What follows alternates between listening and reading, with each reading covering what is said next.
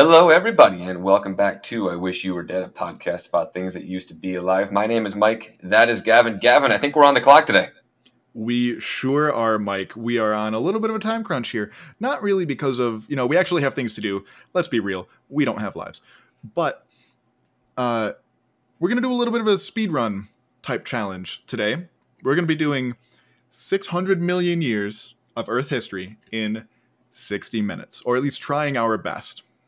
So certainly we're going to try our best. Now I have to ask you, why 600 million years? Why are we picking 600 million years ago as our starting point for this episode? Uh, for a couple of reasons. Number one uh, is that it sounds good. Yes, correct.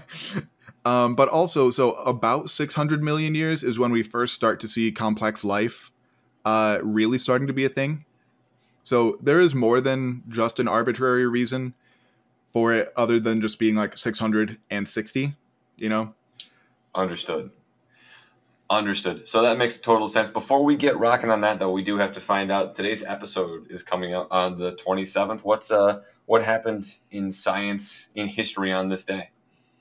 Let's see. According to my little desktop calendar here, on January 27th, 2016, the headline Ooh. is AlphaGo is the first AI to defeat a champion Go player. I don't know what like Pokemon Go. I I've actually heard this about this. No, it's um, uh, it is some sort of game. I I don't I don't know the game. I think chess, um, like in that sort of genre. Okay, but I don't actually know the game. So that I I think it explains it. Myself. I think it explains it in the little description here. So let's see. In a landmark event for pattern recognition software and autonomous learning algorithms, Google's artificial intelligence program, christened AlphaGo, flawlessly defeated European Go champion Fan Hui. Go, an ancient Chinese game long thought to be the ultimate test of AI reasoning, was previously the only major strategy board game that hadn't been quote unquote solved by AI. Instead of being taught the game, AlphaGo came equipped with a general purpose learning algorithm that it used to teach itself how to play and win. That is horrifying. Uh, exciting and horrifying and all of that all at once. And as I'm looking at a quick uh, version of the board here, the again having neither played either game, my quick comparison to chess, chess seemed like it. Uh, You've never played chess? I have not. Uh, I've never played chess. What? I know it is something I've always been a little bit afraid to uh, to actually start learning myself. So maybe that'll be something I have to pick up. I mean, don't get me wrong, I'm not good. but I do enjoy chess. Uh, I do have actually I have a chess tattoo. Fun fact. Um, really? I do. That was my second tattoo. Okay. Anywho, well, we'll have to get into that in a little bit. We are wasting some time now. We have 600 million years to go. So everybody, let's get in the way back machine, as one of my favorite podcast stuff you should know would say, and let's head back to 600 million years ago. Take it away. All right. So first, a little reminder of how we do time in geology. So we have eons are the biggest, then eras, then periods, and then epochs. So and that's starting from largest amount of time to smallest amount of time. Yes. So eons are the biggest, at least in Earth history, um, and then era, period, epoch. So we are starting way back in the final period of the Proterozoic eon called the Ediacaran which was roughly 632 to 541 million years ago, lasting for about 94 million years. So, like I mentioned earlier, this is when sort of the first uh, really strong evidence of complex life shows up, uh, called the Ediacaran biota. And we call it that because the, these animals are so incredibly weird that we can't even tell. We can tell, like, okay, they're animals. But beyond that, you know, these don't really even resemble anything like we have today. And when you say complex life, I'm just curious. Does that mean multi-celled organisms, or how are we defining complex life? Uh, pretty much like multi-celled organisms, which does have like a specific definition. It's like cells working together to do things rather than just cells living together. So this would be like things even more simple than like sponges, which are like barely animals as it is. Understood. So the Ediacaran biota itself is from about 580 to about 541 million years ago and it happens like right after like a, a really short glaciation period um, and most people think that you know something with this glaciation probably like just dumped a bunch of like sediment and therefore nutrients into the into the oceans because obviously at this point life uh, has not left the oceans and that just like increase of sediments and nutrients just sort of kicked life into maximum overdrive. Another SpongeBob reference there, um, and and st- kicked off you know a pretty big radiation uh, as we get into sort of the main you know the current eon that we are in, the Phanerozoic eon.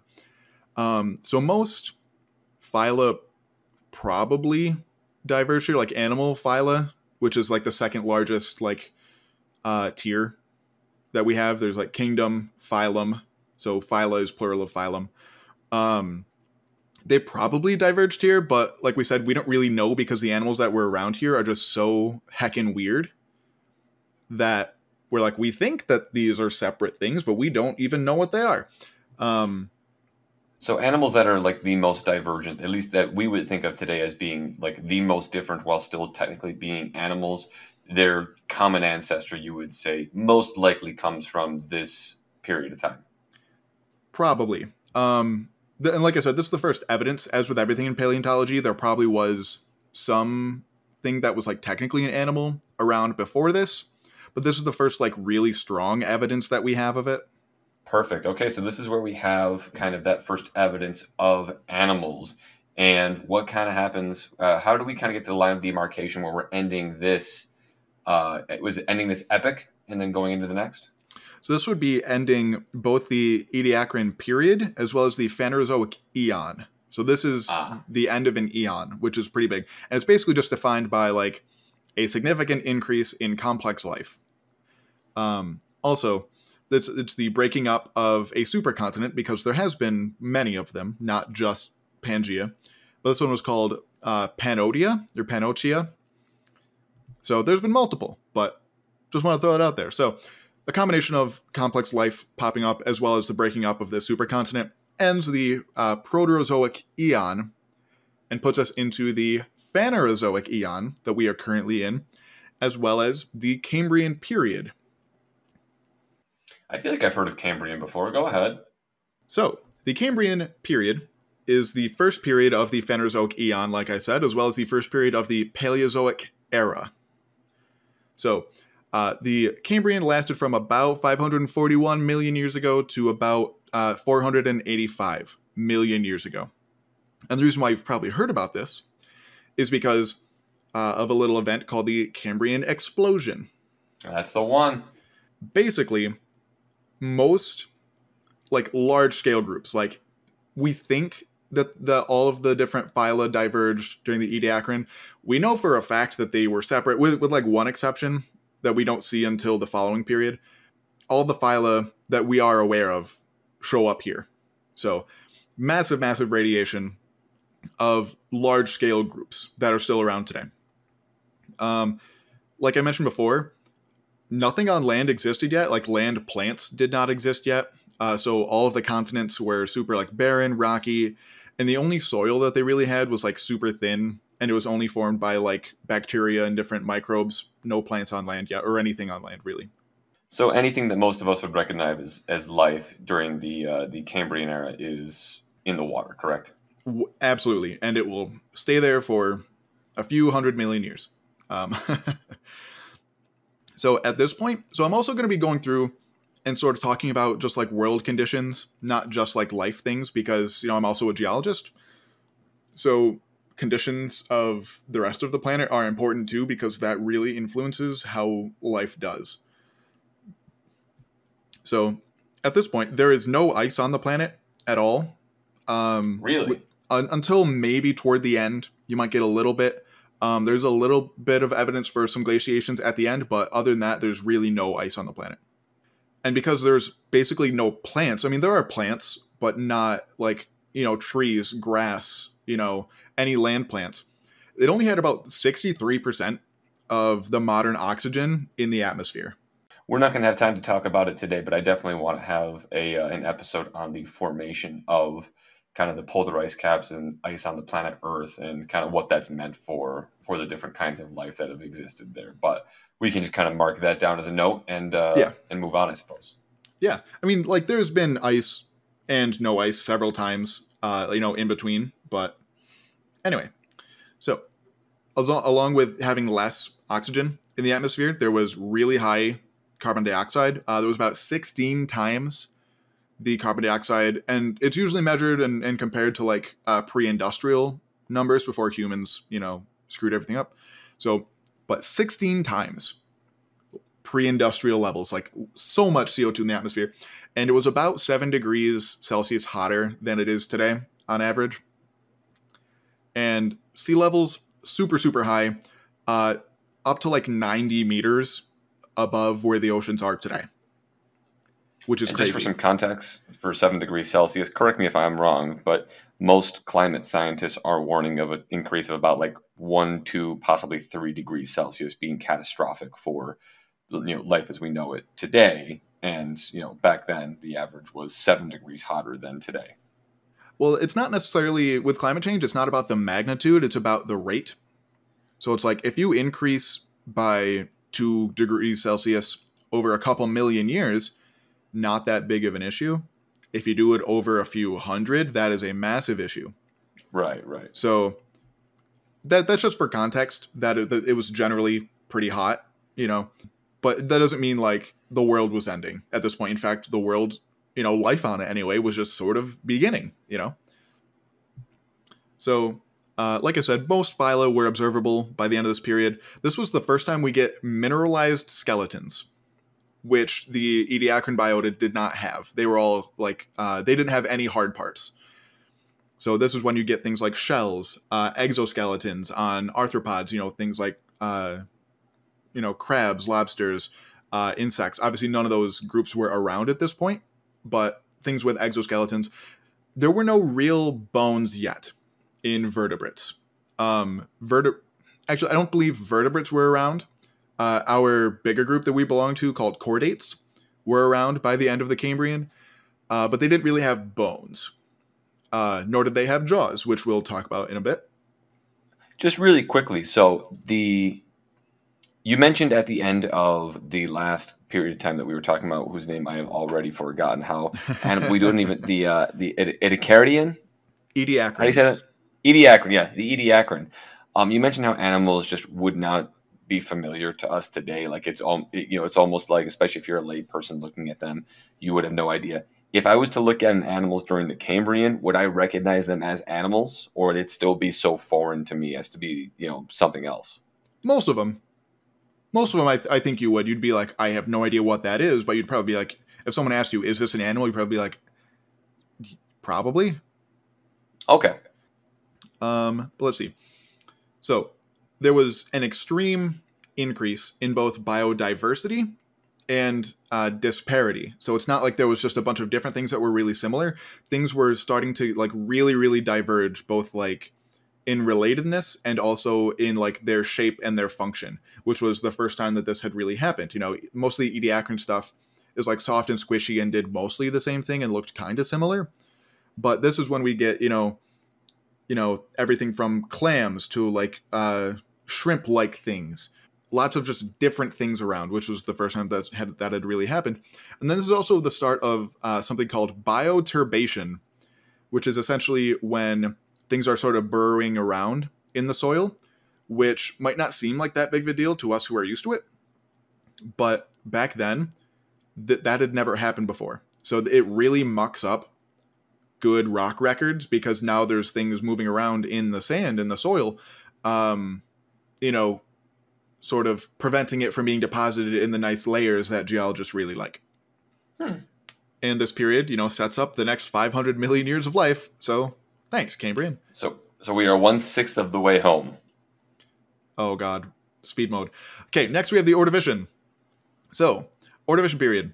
From the uh, about 800 and or sorry wow 800 too fast 485 million years ago to about 443 million years ago, lasting about 41 and a half million years. Uh, a little more oxygen than the Cambrian, uh, about 68% of modern oxygen, a little less CO2 than the Cambrian, only about 15 times pre industrial, and a little bit colder, uh, only about 2 degrees above modern. However, the sea levels were way high, up to around 220 meters above current sea levels. I don't even know what that would look like. Uh, I'm curious to how that would have happened.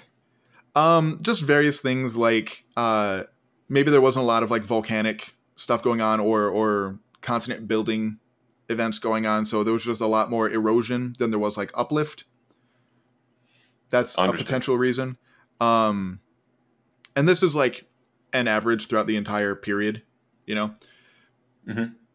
So, following sort of on the heels of the Cambrian explosion, there was also a really, really big, uh, you know, diversification event at the beginning of the Ordovician as well, which, in like magnitude, is bigger uh, than the one in the Cambrian, but be- the Cambrian one gets more attention just because it's like the first one. and overall, about twelve percent of all Paleozoic, which is this era, um, 12% of all Paleozoic marine animals are from this time. Considering that that's out of about 300 million years worth of time, 12% is massive. Right. That seems like it's a, uh, a you know a nice chunk of you can make a career out of studying you know even just a partial segment of that amount of you know marine animals. Absolutely. So and it's not just like getting more diverse it's also getting a little more recognizable for at least you know ocean things uh, you know, clams are around. Cephalopods, which are things like uh, squids, octopi, nautiluses. None of those specific groups were around, but that's the the group of animals that they all belong to. So cephalopods were around, snails and and their relatives were around, and in general, really really diverse. But something else that's really important is that the ocean floors get like tiered, which had never really been a thing before. So it's it's not just like things sort of on the sediment and then maybe a little underneath it. Now there was things like pretty deep in in the sediment, medium in the sediment, shallow in the sediment, on the sediment, and then stuff above the water column too, which you know that's just extra niches for different organisms to fill. And and I imagine that makes it a lot easier to just tell when you know, when things died, kind of where where to put them in in the whole you know timeline of everything. Yes and no, because of that increase in bioturbation. So because ah yes yes yes bioturbation. Yes. So again, just that mucking up and and remixing of the soil. But that sort of adds to that because now there are things in the soil that are there to die for the other things in the soil to eat. So that's just sort of like a positive feedback loop, you know. Mm-hmm. And for the first time, we get real fish. And by the by the end of the Ordovician, we have jaws, which, as I mentioned uh, in one of our previous episodes about uh, vertebrates, and uh, just sort of dispelling some misconceptions about vertebrates. You know, vertebrates getting jaws was probably the single biggest event in vertebrate evolutionary history. Really? Oh yeah. Like, well, because think about it. Just eating becomes way easier if you have jaws. yeah. Yeah. Um, obviously, they had mouths beforehand, but it really changes up what you can do because bef- up until this point, they were just sort of like they would just eat whatever was uh, in front of them. They, they the fish that were around before Jaws had mouths almost sort of like a shark, where it's like on the bottom of their head instead of like in the front, like most modern fish are. So they would basically just be swimming along the sediment and would just sort of suck up like a whole clam or something and just swallow it whole. Whereas if you have jaws, you can actually manipulate your food a little bit and be a little choosier about what it is that you're eating. So it just gives you a bit more of an advantage. Makes sense. And, you know, speaking of by the end, you know, when fish got jaws, we have our first mass extinction. Wonderful. So, mass extinctions in general are way more complicated than we have time to get into here, as we sort of alluded Future to. Future episode our, idea. Yes. Uh, I sort of alluded to that in our dinosaurs episode when we were talking about their extinction. But every mass extinction is, well, maybe with one exception, uh, are way more complicated than anybody thinks. And it's not the dinosaurs one. That's that's not complicated. um, but overall, the end Ordovician mass extinction was the second largest in the terms of like the percentage of species that went extinct. Like around 80% of all species went extinct at the end of the Ordovician. Wow. Which is massive. Um, and only about 50 about 50 55% of genera, you know, like the, the plural of genus. So a lot of things died.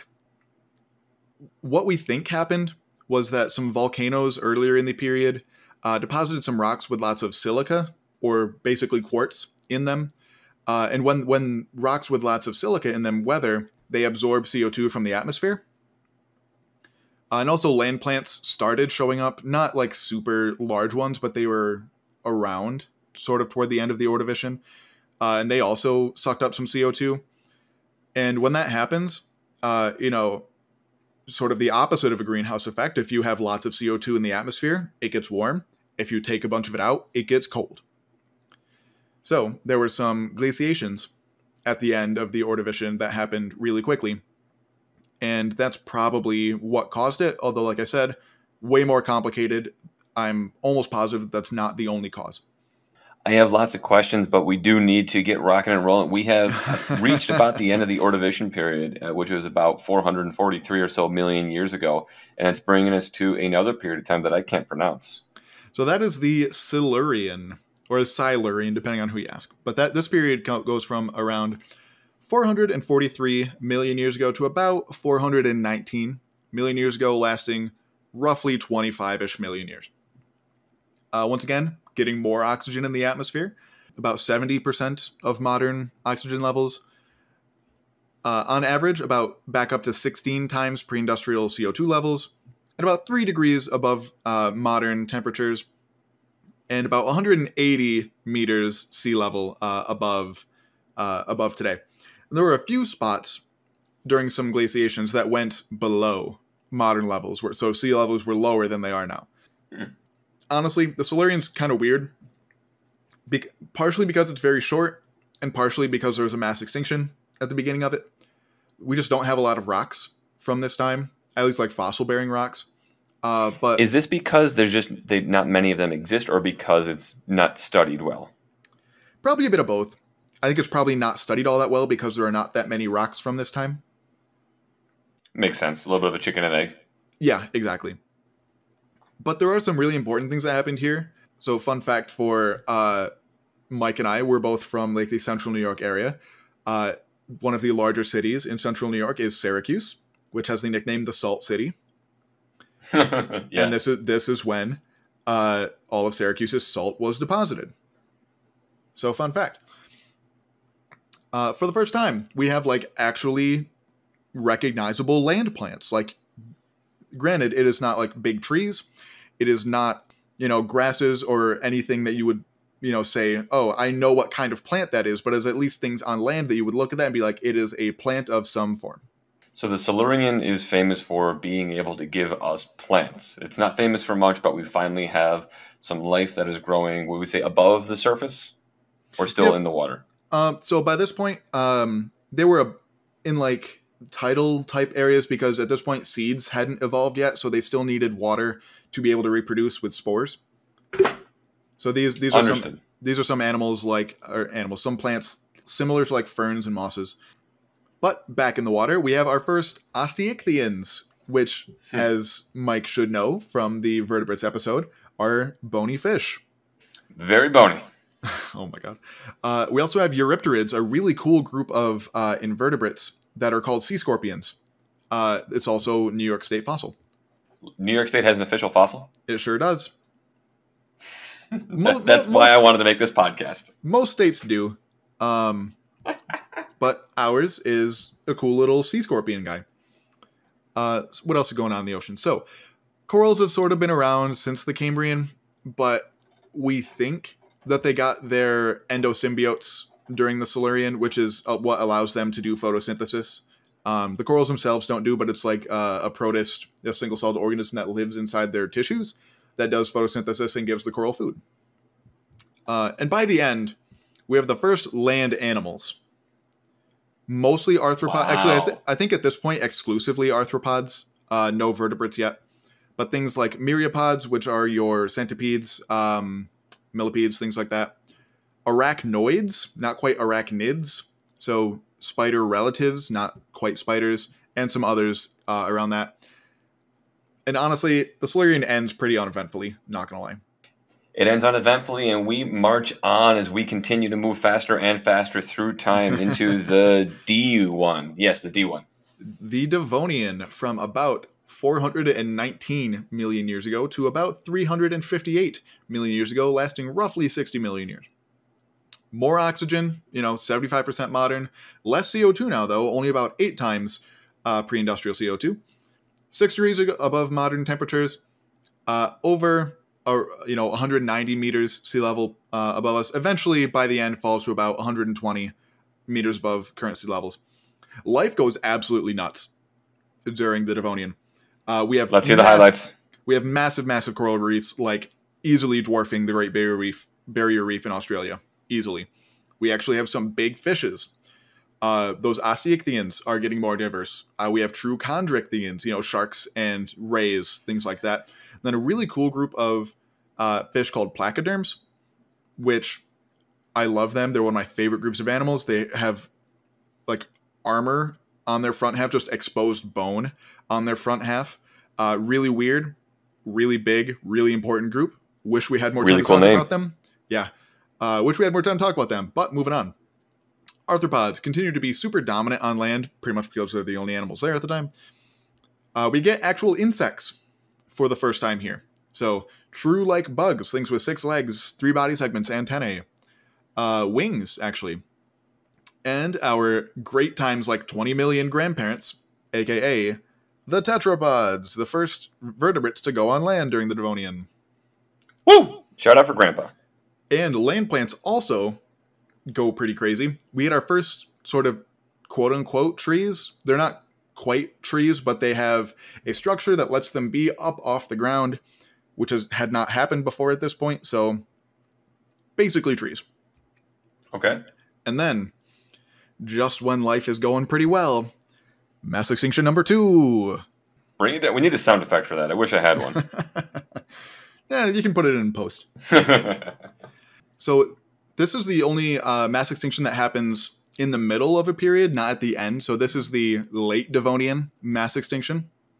Uh, sometimes it's called the FF boundary for the two like epochs that it falls between within the Devonian.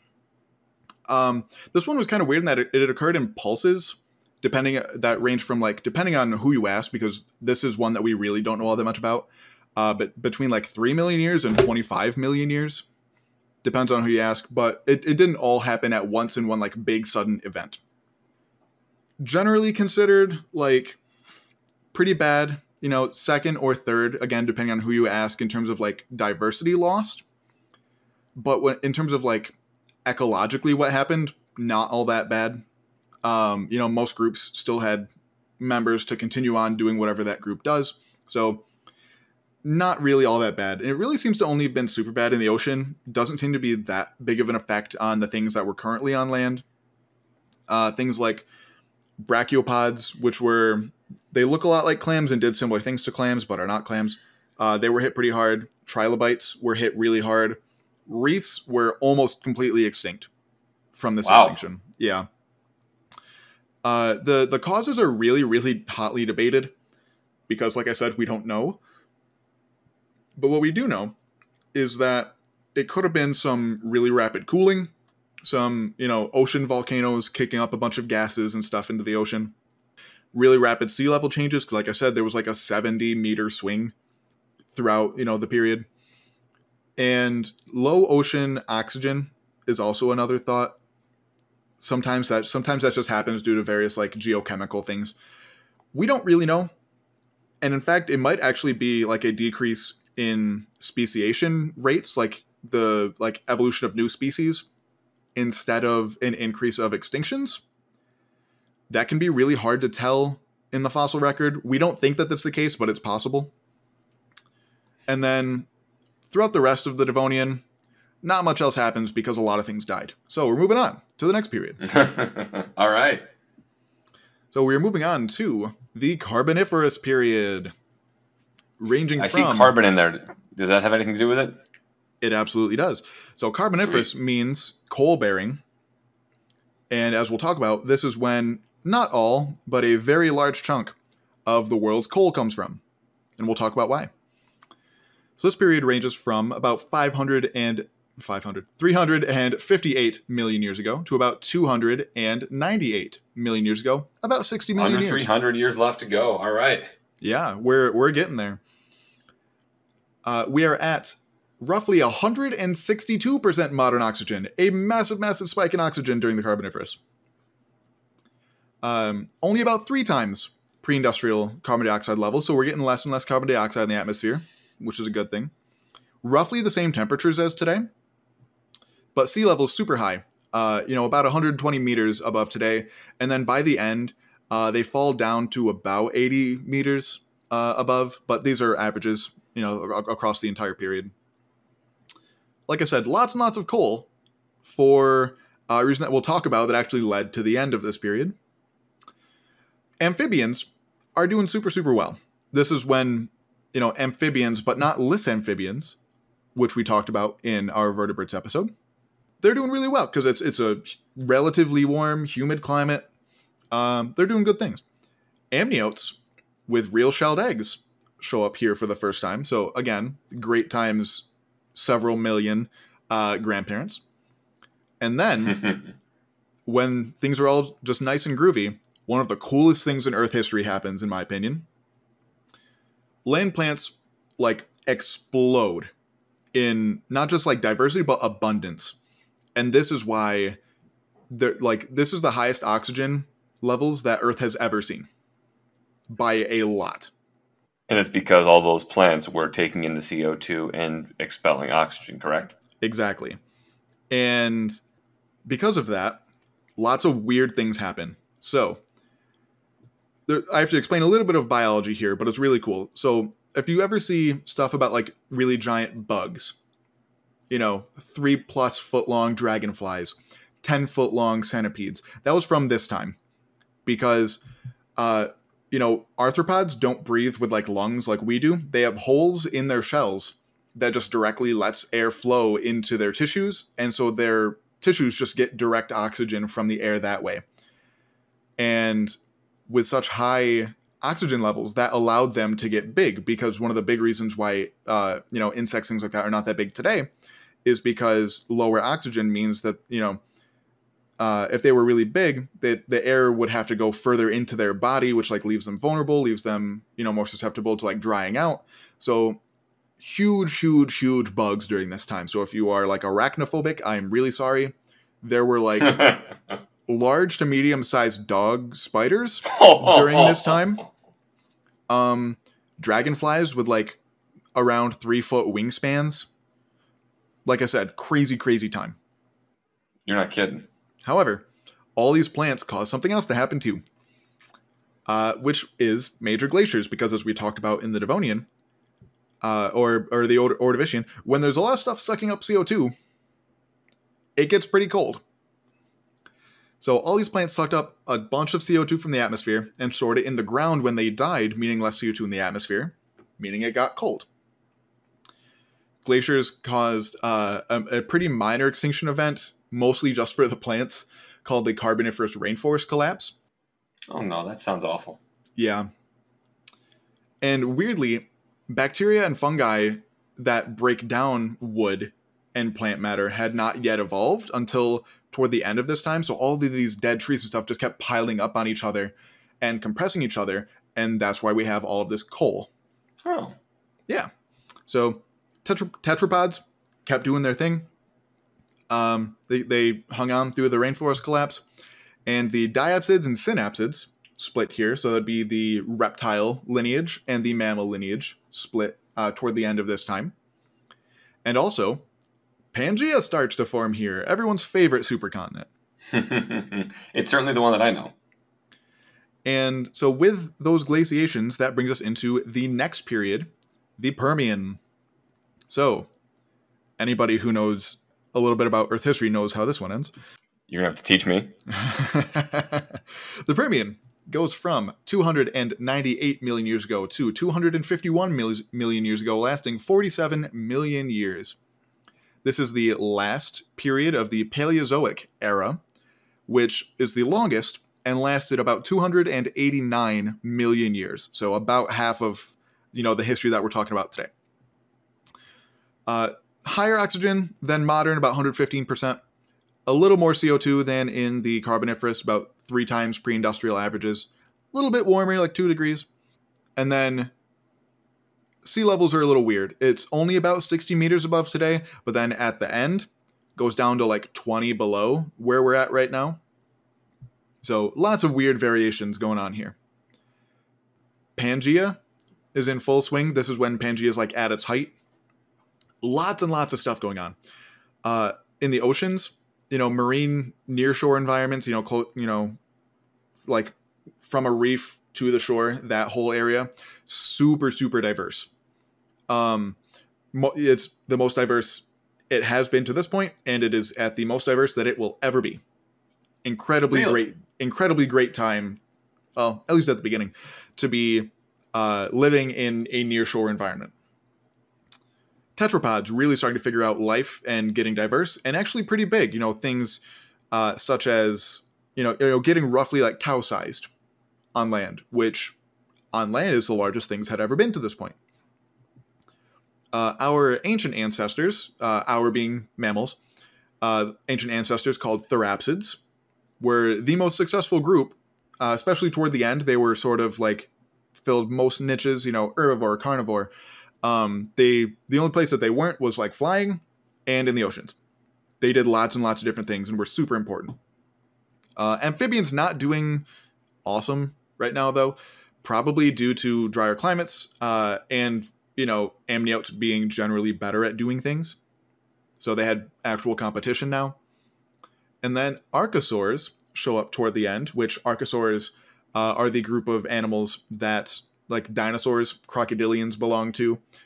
So now the therapsids had some competition of their own.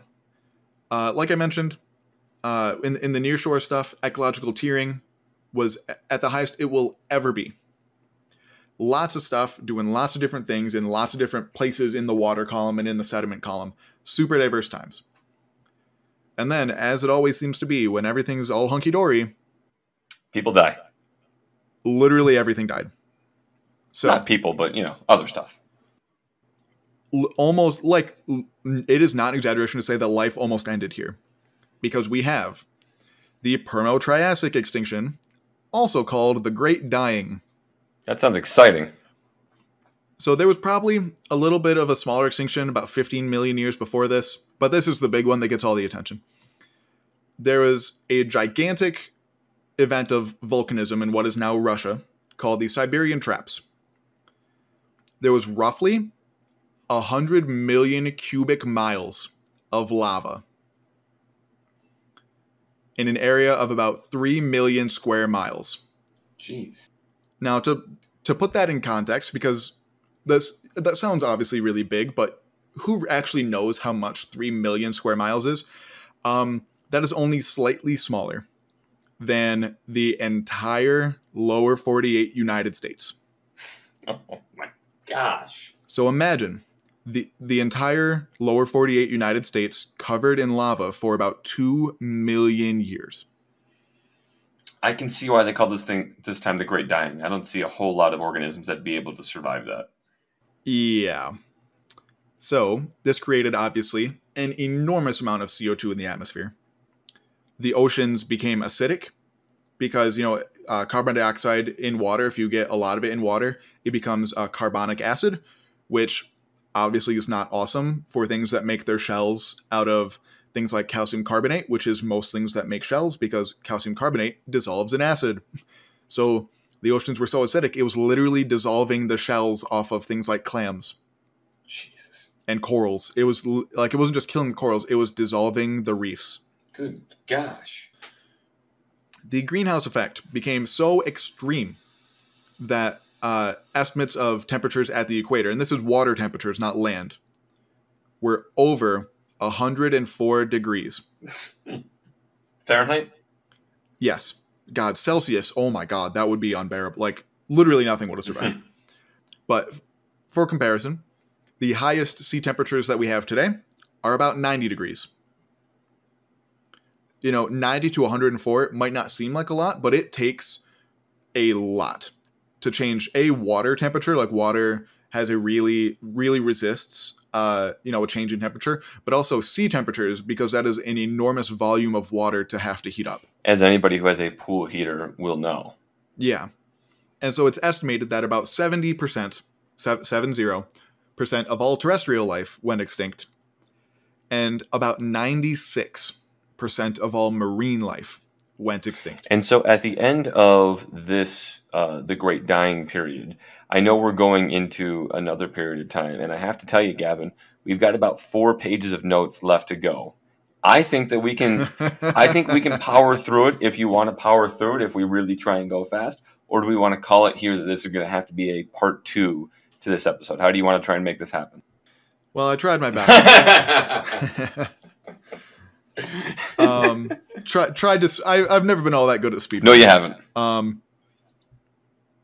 So, how about this? We will get to. We'll we'll finish up the. We'll do two more periods. How about that? I'm all in for that. We'll we'll leave the people wanting because we'll start the next one with the Cretaceous period, the one that everyone wants to hear about. Okay, getting some uh, cliffhangers in there. Yep. So, after the Permian, we have the Triassic period, the first period in the Mesozoic era, which most people know as the Age of Dinosaurs. After the disaster that was the end Permian mass extinction, there was only about 80% of modern oxygen levels, six times um, pre industrial CO2 levels, only about three degrees above modern, though, because it got kind of cooler toward the end. And life was pretty bleak for the first like 10 to 15 million years uh, out of the Triassic period lasting roughly 50 million years. And after that, life got kind of interesting though, after its uh, little recovery period. So lots of weird plants, at least for the time. Now we would see them be like, oh yeah, things like uh, cycads, which are sort of the ancestors to like palm trees. They're still around, not nearly as, as numerous as they used to be though. Ginkgos, which is a really uh, interesting like type of tree really weird type of plant. We have the first conifer trees, most like easily recognizable. You would look at that and be like, oh, that's a conifer, yeah. And ferns are also really, really prominent because, oh, yeah, grass doesn't exist yet. Like something as simple, something as simple as grass that just permeates through everything. You know that, like, you know, I couldn't imagine, you know, life without grass. It's you know like the air at this point, and it just doesn't exist. Nope, it it just straight up does not exist, and at this point would not for at least another like 150 million years. Wow. Marine biodiversity kind of bounces back by the end. Obviously, you know, like I said, in the Permian, that's at like its all time high. So like it it still to this day never gets to the point that it was at during the Permian, but it kind of comes back. Modern corals kind of show up during this time, build reefs uh, like they do today and then uh, a group that some people might be familiar with, uh, the ammonites, the swirly shelled squid guys. Mm-hmm. That's this is when they first show up, and they go nuts. They get super super diverse, and are really really important in uh, ocean ecosystems. Along with them in the oceans, we have the first marine reptiles, such as things like ichthyosaurs, which were sort of the first one and the most aquatically adapted of all the marine reptiles that we ended up get, that we end up getting throughout uh, history. We have the earliest plesiosaurs, which are like the Loch Ness monster looking guys, and some other like lesser known groups that aren't around for super long. You you tend to see like after big mass extinctions, life gets kind of janky for a while. Or trying to resort itself out. Yeah, there's just some like weird animals that show up, try to do new things, and then life's just like, nah, get out of here. yeah, like I said, weird animals were just kind of everywhere, uh, include include including like giant croc-like amphibians, not crocs yet, but they're amphibians, but like the size of crocs, really big, really weird. Uh, we had terrestrial relatives of actual crocs being like the main predators. because that uh, the end Permian extinction really did a number on uh, our ancestors, the synapsids and therapsids, and uh, you know they were still around. They were still pretty important, particularly like the middle of the Triassic. But by the end, the archosaurs, which, like I said, like crocodilians are a member, they really took over and just started just kicking the synapsids out of being top tier predators, things like that. Oh yeah, and then casually, it also rained for like two million years straight. just... Yeah, like that's just a fun thing that I wanted to mention. Uh, it's called the Carnian Pluvial Event. If you wanted to look it up. Now, when we're talking really weird about, time, when we're talking about rain, like is this raining water like we would normally see today, oh, yeah, or just, okay? Yeah, just raining water for like two million years. Casual, and then around halfway through the Triassic, here we go. We get we get the dinosaurs. Yes. Why are we whispering? I don't know. I didn't want to alert all the Jurassic Park people. but we get some dinosaurs anyway. once again that we get to talk about.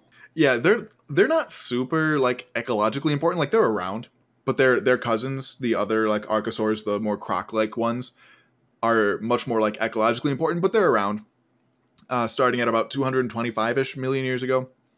When you say and dinosaurs aren't big... important, do you mean they're not important right now, or do you mean like they just weren't important ecologically? Uh, at this point, okay, okay, okay. In, in, in the Triassic, like ecologically, they're just not super abundant. They're they're just not like the main players at this point. Gotcha. Uh, the first like big split in dinosaurs happens here with the two main groups, uh, the Saurischians and the Ornithischians. Uh, if you remember back to our dinosaur episode, I sort of explained what those mean.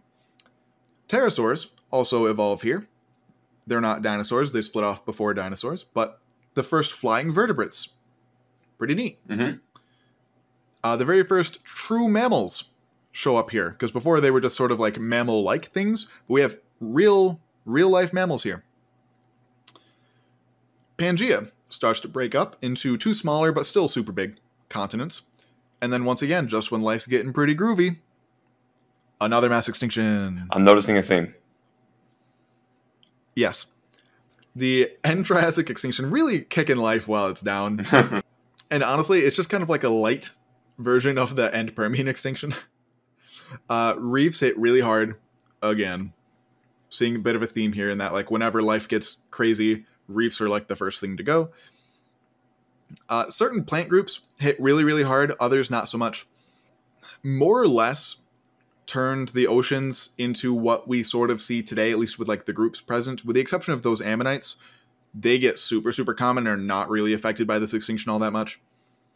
We don't really have a great rec- record of like what happened on land. Like we know certain things about it, but compared to like what how it affected the oceans, we don't really have a great record. Hmm. Uh, but what we do know though is that basically the only terrestrial groups that made it, at least uh, for like tetrapods were crocodilian relatives, pterosaurs, dinosaurs, and mammals. Some groups make it but don't do super well. Those are like the only four groups that like do super well right after this. Some amphibian groups make it, but like I said, they haven't been doing all that well for quite a while at this point. Uh, some lizard snake relatives make it too, but don't do really well until like the late Jurassic, early Cretaceous, you know, for another, you know, several dozen million years from now. Likely caused by Pangea breaking up, and like as those continents were moving apart, it just brought up a bunch of uh, magma from like the Earth's core. And like I said, sort of similar to the Siberian traps that caused the end Permian, but smaller. So similar effects. You know, mm-hmm slightly slightly better outcomes depending on who you ask. This is one is like one of the worst, you know, potentially the second worst, or somewhere in the middle. I think most people kind of agree it's somewhere in the middle. And this has to be kind of one of the most studied periods of time, you know, throughout all of archaeology and uh, paleontology, right? Well, not archaeology because right, right, yes, study people. Yes, correct. Paleo. I was hoping that I was able to get through. Yes, paleontology. Yeah, no, you'll never get that far. yes, I met, but I imagine this has to be one of the more studied periods of time. You know, kind of through all out of you know paleontology and geology. Yeah, yeah, it really is. Um, just because there's a lot of rocks from this, you know, especially in like Central Europe, there's a lot of Triassic rocks. Mm-hmm. Um, not that many Triassic rocks in like North America. There are some down in like Texas, uh, some up north in like Newfoundland, up in Canada. But in lots of other parts of the world, there's there's pretty good records of, of this stuff. Gotcha, gotcha. And so I think this Plus, leads it's us the start of the dinosaurs. I was going to say, so this kind of leads us into, I think, the last period we're going to be able to cover on this episode. So it looks like we're going to be able to do, what is that? 450 ish million years in 60 minutes instead of 600? Yeah, but it's like most of the interesting stuff happens after right now. this is the prequel episode. like I might be a, I might be a little biased because I study the time after the dinosaurs, so like maybe I'm a little biased, but well, hey, let's cover the dinosaurs, and then everybody uh, can just be well aware that we're going to get to all the good stuff. We have the Jurassic period now. Yes. From 201 million years ago to 145 million years ago, lasting roughly 56 million years. High oxygen, about 130% of modern. Pretty high CO2, though, about seven times pre industrial, uh, and about three degrees above modern temperatures. TBH kind of boring. That's literally what I have in my notes. Not a lot happens during the Jurassic. Not a lot happens. Um, there's a lot of neat stuff around though. Like there's just not a lot of like interesting events that happen. Um, there were gigantic forests of conifer trees, um, and prairies made out of ferns, because at this point, still grass does not exist yet and also plant, plants with flowers don't exist yet, which today are I don't want to say like the majority, but a very very large portion of the plants that are around today are flowering plants. Mhm. So some major major groups of plants didn't exist yet, but we had these gigantic like basically redwood forests, which is super cool. And this is when dinosaurs start to get big. And I mean big both as in like important and big as in just huge. So this is like the best time out of uh, all the time dinosaurs were around for the sauropod dinosaurs. You know the you know the biggest ones of all time. You know long neck, long tail dinosaurs. Right. Stegosaurs. You know like Stegosaurus. Mhm. They go extinct at the end of the Jurassic. So this is sort of when they're at their best. And then we also get some larger theropod dinosaurs. You know the two-legged meat-eating ones, uh, like Allosaurus, is really notable from this time period. Pterosaurs still the main flying group. However, now they are not alone because we now have the very first birds. Sweet. And, and yeah, so we actually live closer in time to T Rex than T Rex lived in time to Archaeopteryx. Fun fact. that that kind of By fun a good fact, chunk. that kind of fun fact always just blows by- my mind. Yeah, right. And it's it's by a pretty solid chunk of time too. Like it's it's not even close. So there were also some Therian mammals around now, which are uh you know uh more closely related to us. It is basically placental mammals. Those two terms aren't quite the same, but for our purposes, those are the same. Um, they're mostly like sort of like rodents, but not technically rodents. Uh, but some of them were like really well adapted. Like we had a couple like gliding forms and like some like small like aquatic forms, which were kind of interesting. So it's not like they were just chilling doing nothing. Like they were still doing their own things. Mhm. Uh, crocodilian cousins, uh, for the most part, were terrestrial up until this point, but they start to be aquatic like we know them today. And we have our first modern lissamphibians, which are you know things like frogs, salamanders. They show up in the middle of the Jurassic. We have our first turtles, which I think I kind of alluded to in that vertebrates episode. We don't know where. We have no idea what they came from, but they they show up here. The first squamates, which are lizards and snakes, show up here, as well as some of their closer relatives. The Loch Ness monster guys, the plesiosaurs, increase in diversity a lot here. But ichthyosaurs, the other marine reptile group, were pretty much just constantly declining after the end Triassic extinction. They never really recovered from that. And fish are really just living their best life. Fish are doing great right now. Uh, teleosts, which are the most common group of fish today, they first show up at the end of the Triassic and then start doing super well by the end of the Jurassic. Lungfish are really common in freshwater and brackish uh, environments. Sharks just kind of doing, you know, their shark thing. Most groups of modern sharks are around by the late Jurassic. Is there a Many particular reason? groups. Is there a particular reason why all these different fish were doing well during this period of time, or was it just kind of happenstance that yeah, this is you know a good time for them? I don't know. Off the top of my head, I would guess that there were probably some things that like went extinct at the end of the Triassic that was like competing with them, but now they're not there, so they're just like, hey, I'm gonna do better now. Okay. More or less. Obviously, that's super simplified. Uh, right. I was curious if it was like a Earth conditions thing, or if you know, like you said, some other species went extinct that were competing with them. Yeah, just something to uh, to kind of chew on here. But we can uh, move on. You were talking about sharks. Yeah, they're just kind of doing their regular shark thing. If I had to guess, I would be just general like uh, highly productive, like um, like uh, like photosynthetic algae, things like that. Um, like photosynthetic single celled organisms doing pretty well at this point in the oceans, which means that like small fish have a lot to eat, which means there's a lot of them, which means bigger fish have a lot to eat. When you have a lot to eat, you tend to be living your best life. that makes so, yeah, Can't confirm. Um, most arthropod groups, uh, you know, most like insect groups, sort of appear around this time, and there is a bit of uh, an extinction at the end of the Jurassic, but not anything super crazy. It's really complex and not super well understood because like some groups like really really increase in diversity and then others decrease pretty considerably and we don't really know why. Hmm. So a little bit of just like an unsatisfactory ending for the Jurassic, but that takes us to the Cretaceous, which we will pick up at some point in the future. The Cretaceous is where we will pick it off. So we will did not quite get to 600 million years in 60 minutes, but the good news is that means that we've got another full hour of podcasting coming to you with about another eh, 150 or so million years, which is where all the good stuff is coming. So thank you, Gavin, for putting together at some point we might have to share the notes you made for this episode because it is no joke. What do we say, six or seven pages long? yeah, total about about seven pages. Uh, most of the notes that we have, just for context, are like a third of a page.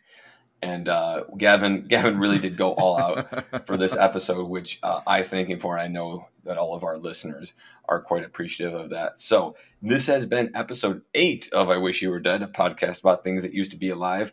600 million years in 60 in uh, 60 minutes. I'm probably going to put like uh, some question marks and exclamation points at the end of that for some clickbait. Of course, you got to get the clickbait. Absolutely. So to everybody that fell for our clickbait, uh, I don't apologize for a damn thing, but I do want to welcome you to join us next time and to please subscribe to our podcast. Gavin, thank you very much, and we will see all of you next week. Absolutely.